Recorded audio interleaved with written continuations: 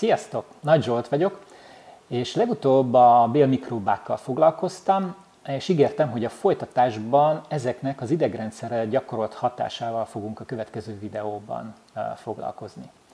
Ez egy nagyon szerteágazó és nagyon széles terület, nagyon sok területét érinti a szervezetünknek. A belső elválasztású mirigyektől elkezdve ugye közvetlen idegrendszerre gyakorolt hatásán keresztül, illetve egy picit vissza fog jönni az immunrendszerre gyakorolt hatása is, mert az immunrendszerünk működése is kihatással van egyébként ugye az idegrendszerre.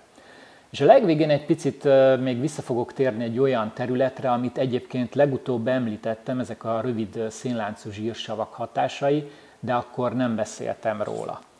Ugye a kapcsolat az idegrendszerünkön belül közvetlenül a bérrendszerrel a bolygó idegen keresztül történik. Ezt szerettem volna bemutatni ezzel a kis ábrával, és gyakorlatilag ez egy ilyen oda-vissza hatás. Tehát nem csak arról van szó egyébként, hogy mondjuk ugye kapunk olyan visszajelzéseket, hogy mondjuk hú, egy kicsit telítve van a gyomor, és ezáltal mondjuk ugye nem kéne már tovább benni, vagy a bélben, hogy milyen folyamatok zajlanak le, éppen mondjuk hasmenésed van, vagy sem, vagy éppen gyorsítani kellene, éppen ez a lényeg, hogy mondjuk gyorsítani kéne egyébként az ürülését a, a bélben lévő anyagoknak, vagy lassítani, ugye ezek is olyan információk, amik eljutnak az agyig és vissza.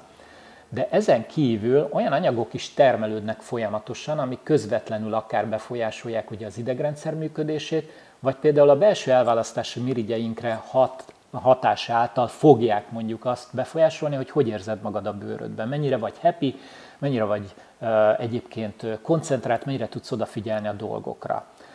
Ugye ezt, ezt mutattam be itt az előbb. A belső elválasztású mirigyekről azért szeretnék egy nagyon picit beszélni, ha már így említettük, hogy mik is azok. Ugye olyan mirigyekről beszélünk, amik a váladékukat azt a, a sejt közötti térbe ürítve juttatják el a véráramba, és ezáltal ugye befolyásolják a szerveinknek a működését, méghozzá a hormonokon keresztül.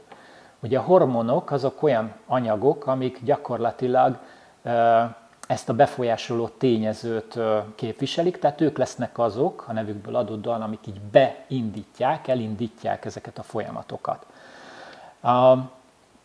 A, a gyorsan végigmenve egyébként azon, hogy mik is ezek a belső elválasztású mirigyek, akkor itt láthatod, hogy egészen ugye föntről tobozmirigy, agyalapi mirigy, megyünk lefelé, pajzsmirigy, akkor a csecsemőmirigy, aztán hasnyálmirigy, két oldalon ugye a, a, a, ott vannak ugye a mellékvesemirigyek a veséken, és hát ugye lejjebb pedig ugye a petefészek, illetve a férfiaknál ugye a, a herék, amik ugye nagyon fontosak szintén ahhoz, hogy jól működjön a tested.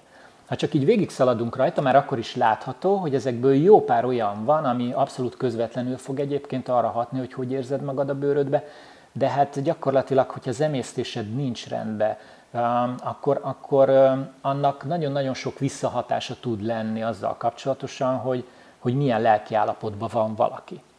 Na most, hogy pontosan mik is ezek a közvetlen befolyásoló folyamatok, illetve útvonalak, azt szeretném ezen a következő ábrán megmutatni. És igazándiból inkább ugye a tőlem távolabb eső széle felől indulnánk el, ahol ott látható az, hogy Kimondottan ugye vannak olyan ingerület átvívő anyagok is, amik termelődnek a bélbaktériumok által, ami közvetlen idegrendszeri hatással bírnak, illetve lesznek ott már olyanok is, mint például a triptofán anyagcsere, ami egy, ugye egy olyan aminósav, ami kicsit közvetettebben fog hatni az idegrendszerünkre. És hát ugye, ha pedig fordul visszafelé ugye az agy felől a, a folyamat, és akkor ott pedig megint az lesz, hogy a hipotalamusz és az agyalapi mirigy és gyakorlatilag az azzal kapcsolatban lévő mellék veséknek a mirigyei, ami a kortizol termelésen keresztül egy, egy iszonyatosan fontos területet fog felölelni.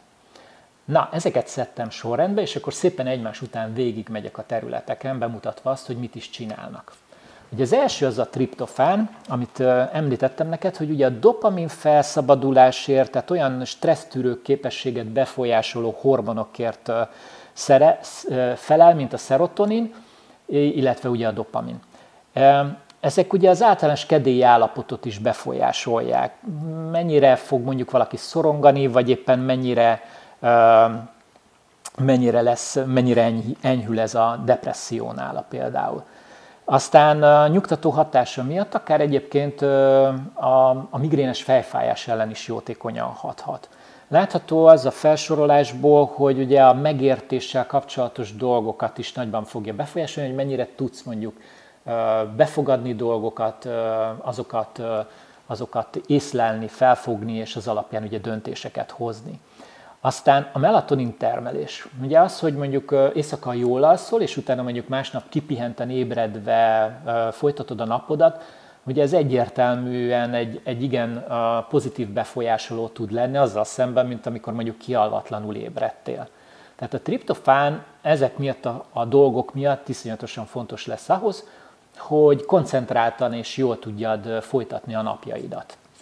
Aztán azok az ingerület átvívő anyagok, amik kimondottan a, baktériumok által termelődnek a, a bélben, azokat soroltam itt föl. Például elsőként ugye Lactobacillus félék, ugye a GABA termelés. Az, hogy jól alszol, hogy nyugodt vagy, ez iszonyatosan uh, fontos a, a, a GABA termelése a, a testednek, és hogy koncentráltan tudsz egész nap uh, ott lenni, akár a munkahelyeden, vagy bármilyen tevékenységben, amit csinálsz, mondjuk ha tanulsz. Aztán különböző félék és Saccharomyces félék, amik szintén ugye a bélben laknak, ugye noradrenalin termelnek. Ha túl sok van belőle, akkor ugye koros szorongás, ha kevés, akkor meg depresszió. Tehát mind a kettő fontos, hogy, hogy egyensúlyban legyen. Aztán a szerotonin termelést látod a következőbe, abba, hogy, hogy mennyire vagy boldog, mennyire érzed jól magadat a bőrödben, mennyire tudsz egyébként empatikusan viselkedni a környezetedben lévő sokszor emberekkel vagy tárgyakkal is, hogy az emberekkel kapcsolatosan ez mondjuk néha nem egyszerű, hogy elég empatikus tudjál lenni, de ez tud segíteni abban, hogy mondjuk ne, ne harabd le a fejét egyből, vagy mit tudom én, vág le, vagy egyéb agresszív viselkedéseket helyett egyébként tudjál belegondolni az ő állapotába éppen abba, hogy ő most mit csinál, vagy hogyan van, és ezáltal egy kicsit normálisabban reagálni le a, a dolgokat.